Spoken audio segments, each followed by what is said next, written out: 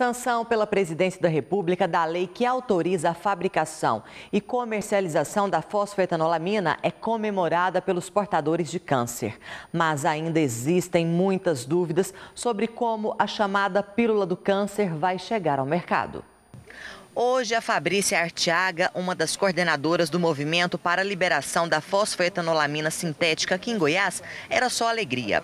É que foi sancionado pela presidente Dilma Rousseff e publicado no Diário Oficial a lei aprovada no Congresso que permite a produção, a distribuição e o uso do remédio conhecido como pílula do câncer.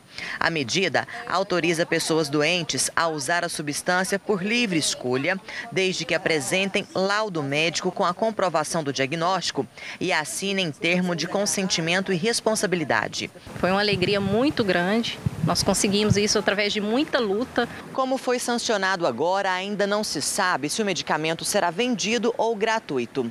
A única certeza que se tem é que a USP não vai mais fabricar a substância que ficará a cargo de um outro laboratório. A nova lei também autoriza a produção, importação, distribuição prescrição e uso da fosfetanolamina, ainda que a substância não tenha registro na Anvisa, Agência Nacional de Vigilância Sanitária. O Conselho Regional de Medicina de Goiás recebe a notícia com receio. Nós não temos um remédio, nós temos uma substância.